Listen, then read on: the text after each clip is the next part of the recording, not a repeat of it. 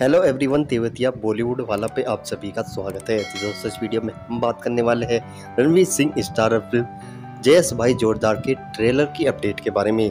दोस्तों रणवीर सिंह की आने वाली ये फ़िल्म एक सोशल कॉमेडी ड्रामा फ़िल्म होने वाली है, जिसके की ट्रेलर की अनाउंसमेंट हाल ही में हो चुकी है। दोस्तों रणवीर सिंह ने हाल ही में अपने सोशल मीडिया हैंडल से फ़िल्म से एक पोस्टर को शेयर कर इस फ़िल्म के ट्रेलर की जानकारी दी।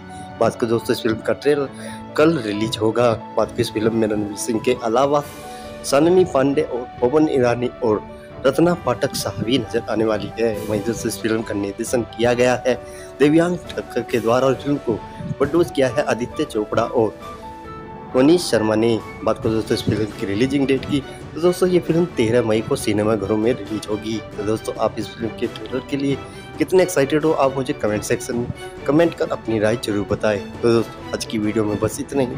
उम्मीद है आपको ये वीडियो पसंद आई होगी। ऐसी ही लेटेस्ट अपडेट के लिए प्लीज़ चैनल को सब्सक्राइब कर बेल आइकन पर क्लिक करें और वीडियो को लाइक और शेयर ज़रूर करना। मिलता हूँ नेक्स्ट किसी ऐसी ही वीडियो में।